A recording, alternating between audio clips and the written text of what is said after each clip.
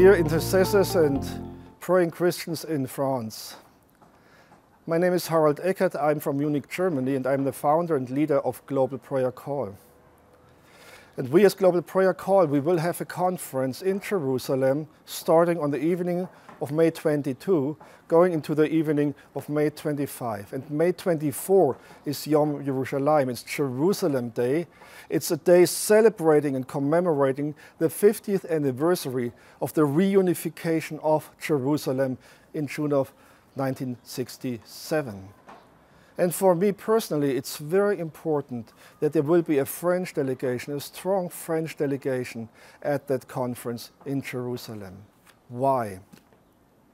There's something in me that has a perspective, a faith, a hope that the Lord wants to use the friendship, the reconciliation and friendship between the French people and the German people after World War II.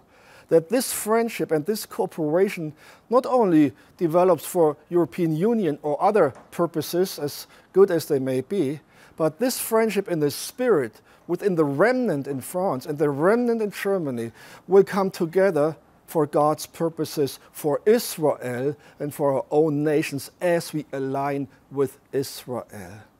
I believe we need each other. I believe we can inspire each other. I believe we can strengthen each other by coming together and uniting.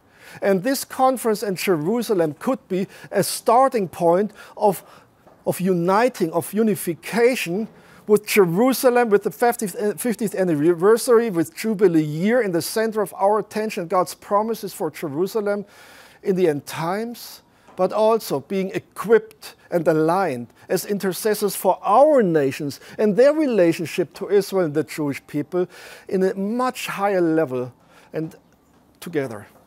This is my heart.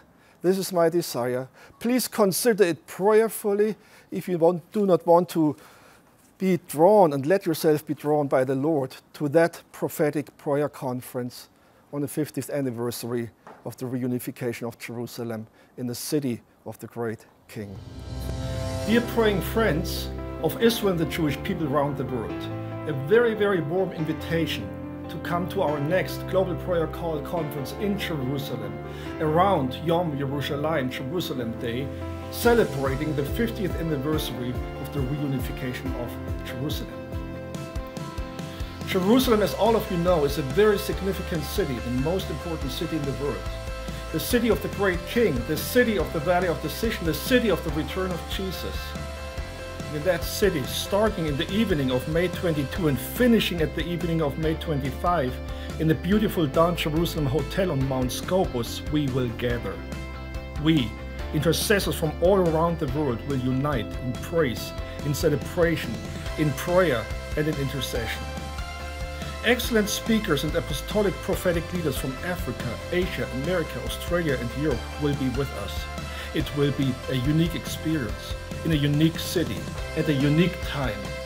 And for those of you who want to join us after the conference, the experience of worshiping, learning, and praying will continue at our guided geopolitical intercessory tour from May 26 to May 31. So, once again, a very warm welcome to both the conference and the tour.